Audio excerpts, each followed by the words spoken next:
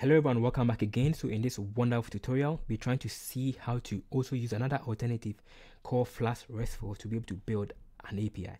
So in the previous tutorial, we learned about how to use Flask and JSONify, which we're able to build something interesting. Now let's see how to use Flask RESTful to be able to build our API. So I'm just going to copy the old one we did. Then let's save it so that we can have it for another usage as reference. Which is going to be our app one right? Zero one.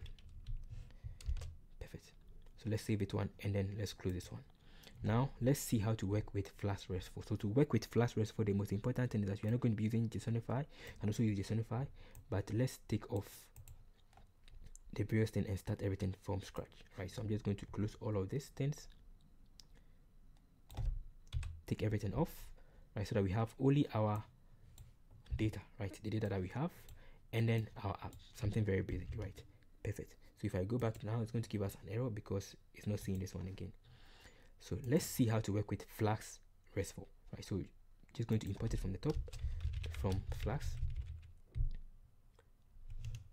flask restful import resource and then api right? So we're importing resource and then api so these are the main things that we need to help us work with flask RESTful, right, to build an API.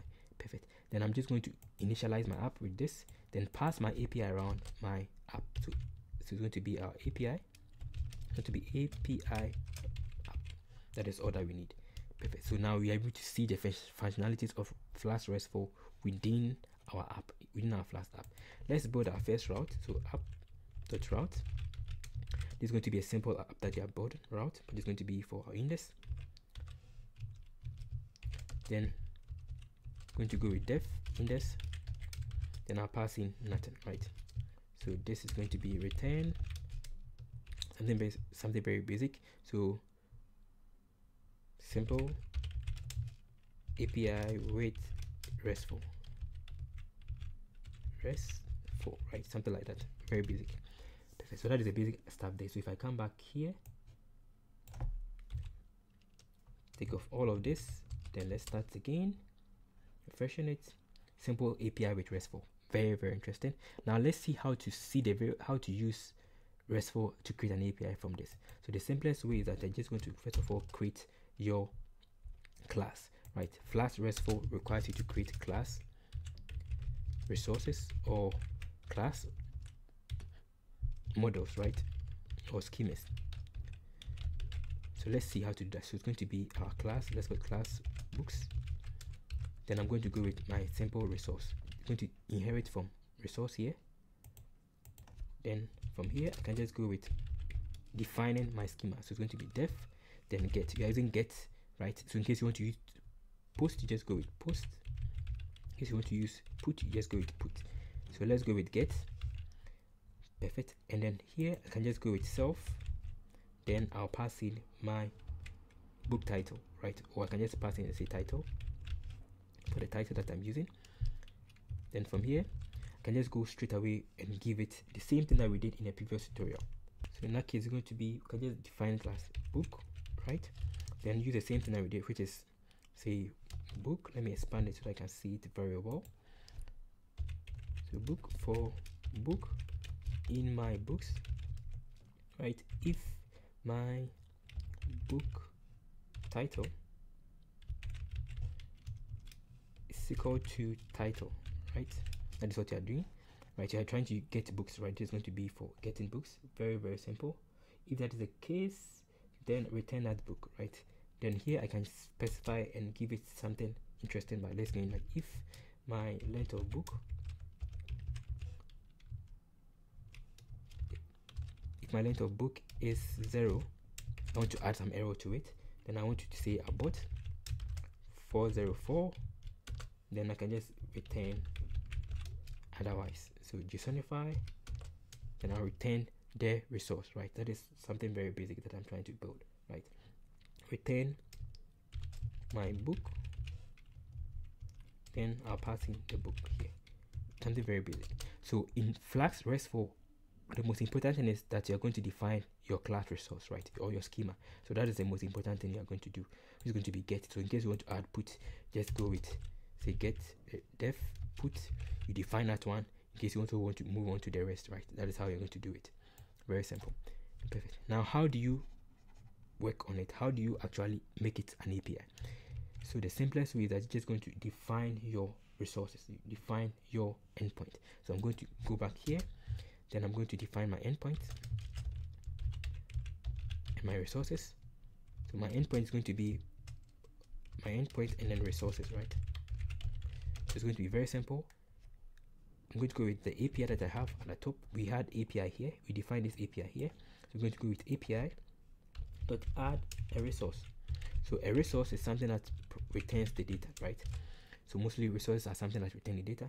So resource, then I'm going to pass in the resource I've defined, which is book. Perfect. Then I can just give the route.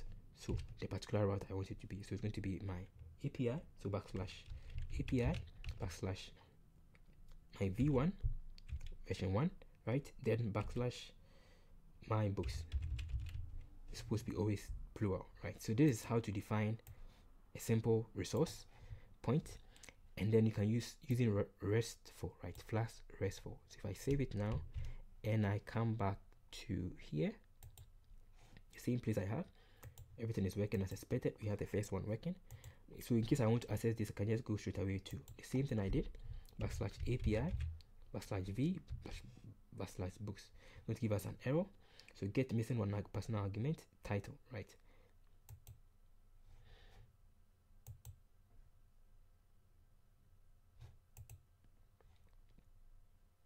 So the reason it's missing that argument is because we forgot to supply the title. We had title here, so to, to have to define the title here, right? Which is going to be the one that you'll be using, right? Very interesting so I'm just going to go with the same format I had it's going to be string then title perfect right so it's going to take the title then it's going to give it to us so if I save it and I come back here to here and I go back to the particular title that I have so we realize we had some books things fall apart so that is coming perfectly right? So I can also do the same thing with my postman which we had which was this. So if I come back to the same place I have I paste in my route right? And then there's the book so I go with send. Then it's going to return the result for us right? Sending to return the result for us. So if I go back to this is the headers everything is working. Then if I go to the body I can see my result right I can see that it is coming here very very interesting right with postman so that is something very basic right so the basic idea with working with flask restful is that first of all just going to import resource and API from Flask RESTful. Then going to pass it around your app, then your data, the one you're using. You're going to create a class, right, referring to what you want it to do. Then you define your resource. So let's define another resource, which is going to be for everything. Going to be API. So we define another resource to get everything. So let's call it here. The class books list, right? Yeah, getting a resource for all the books so resource then I'll just go with def dot get self it doesn't take any argument and from here I'm just going to return my jsonify books so I can just return everything. I can just return the entire stuff it's going to be the same thing I have here right? So it's going to be this but this is going to be plural. Right it's going to be plural books very interesting. So this books is referring to our books here right? Perfect. So that is how to find another resource. Then i have to add that resource here as api dot add resource. Then i'll pass in here as books list right? Totally different from the first one then i can just give the route. Api slash v1 slash books right? So without with this without any query or parameter it's going to give us all the books. If i save it now and i come back here to my postman right and i take off this and i go with send it's going to bring everything for me. So sending so sending request it's giving us an error could not get any response because i think i made a mistake somewhere. So let's go back to what you have done so far. Let's save it. So it's not getting a response. So let's check and see the error that we are having. Mm, okay.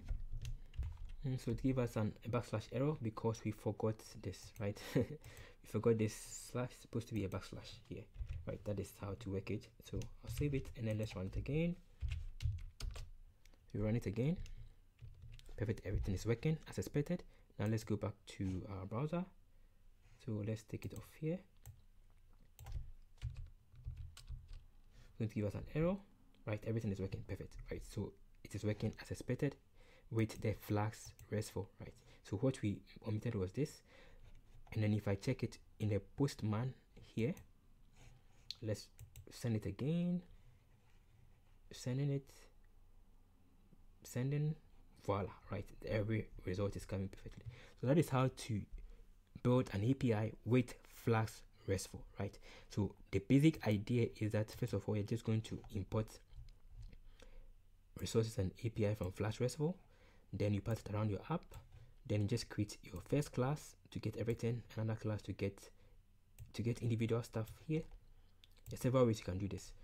And then also to get your books right to get everything then you're going to define your resource right your endpoint by giving the class you supplied and then what you want it to be. So thank you for watching and then see you in the next session. In case you have not subscribed you can also subscribe to this channel and check the link below for some interesting materials to master python and machine learning. Thank you and then see you in the next session. Stay blessed